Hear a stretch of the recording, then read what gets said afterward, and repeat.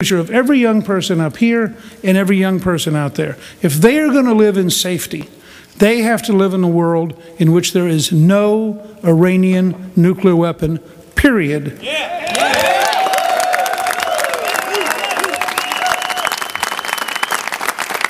So, on that front, we'll have a very important debate.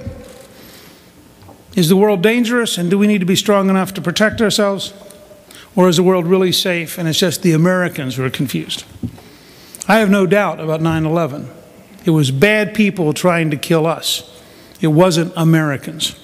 I have no doubt about the Iranians, and I have no doubt about the importance of the survival of Israel as a moral cause, which we have to recognize as central to our future.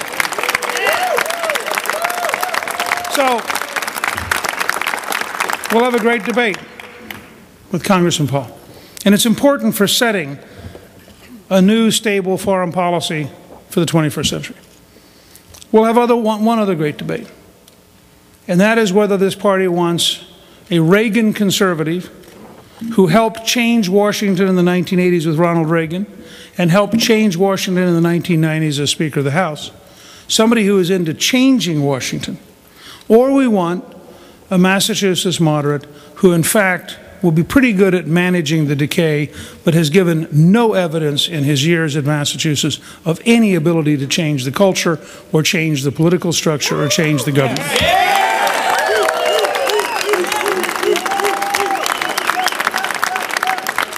Now, let me, let me be clear because I think it's important given all the things that were done in this state over the last few weeks. We are not going to go out and run nasty ads. We're not going to go out and run 30 second gotchas. We're not. But I do reserve the right to tell the truth.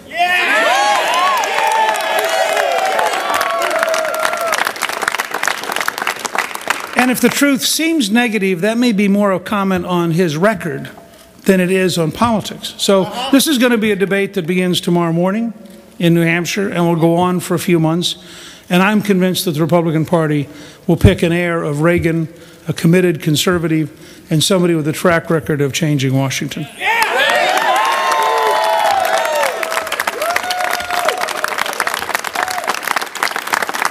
I want to say two last things, and I think Callista will join me in both of these. The first is, and here I think you'll find Rick Santorum saying the same thing. My dad was a career soldier for 27 years. I would not have survived in this campaign against millions and millions of dollars of negative advertising if it weren't for the thousands of volunteers who showed up and who helped us in every town and in every precinct, people who went out because they cared. We have someone up here who actually drove in from Indianapolis around Thanksgiving and said, I'm staying. We had someone else who brought three children and drove up from Texas and said, I'm staying. We have people who wanted to get America back on the right track.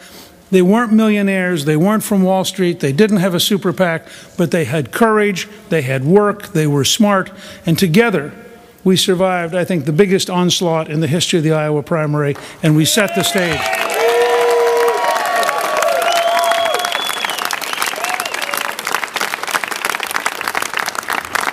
I want to say one last thing. We were over earlier tonight in Waterloo, which had the largest single site for caucusing, and a very distant relative, like 190 years, uh, named Craig Gingrich, who came from Pennsylvania, or his great great great grandfather came from Pennsylvania, spoke for me.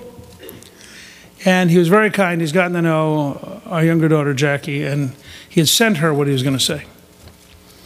And part of what he said to his caucus was about his two sons, who just came back from serving the Middle East. And it reminded me, and I'd like to close with this because I think it's so important, and it's why the Iowa experience and the New Hampshire experience, the places where you actually have to see people.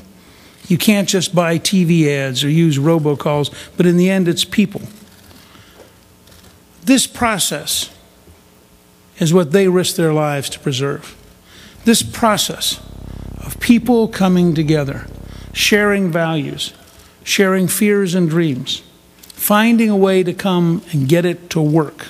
Unlike the current total mess in Washington, which I believe, frankly, is a bipartisan mess, unlike the current mess in Washington, The American system over time works when the American people roll up their sleeves to make it work.